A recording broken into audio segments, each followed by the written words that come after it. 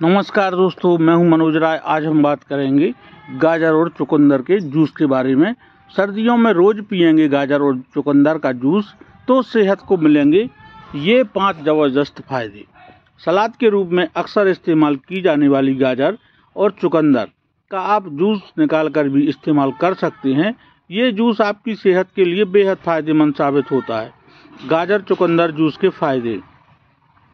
गाजर में vitamin A vitamin B vitamin E calcium, fibre और प्रोटीन जैसे पोषक तत्व पाए जाते हैं। वहीं चुकंदर में आयरन की अच्छी मात्रा पाई जाती है और इसके साथ सोडियम, पोटेशियम, फाइबर और नेचुरल शुगर भी अच्छी मात्रा में पाया जाता है, जो हमारी हेल्थ के लिए बहुत अच्छा है।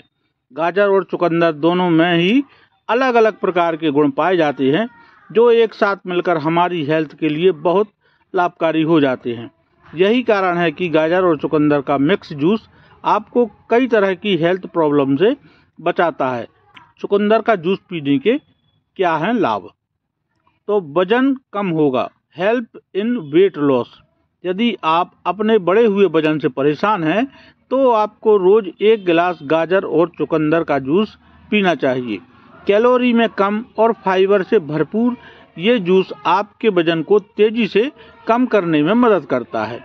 पाचन होगा ठीक इम्प्रूव डाइजेशन यदि आप पाचन संबंधी समस्याओं से जूझ रहे हैं तो गाजर और चुकंदर का जूस आपके लिए लाभकारी रहेगा। इसमें मौजूद फाइबर की भरपूर मात्रा हमारे पाचन तंत्र को मज़बूत बनाने का काम करती है।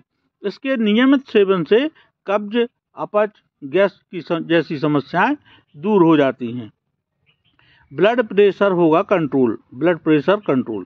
बढ़े हुए ब्लड प्रेशर को कंट्रोल करने के लिए गाजर और चुकंदर का जूस बेहद फ़ायदेमंद साबित होता है। इसमें मौजूद पोटेशियम और मैग्नीशियम हमारे ब्लड प्रेशर को कंट्रोल रखता है। खून की कमी होगी दूर। Improve blood count. शरीर में खून की कमी को दूर करने के लिए गाजर और चुकंदर का जूस बेहतर कारगर है।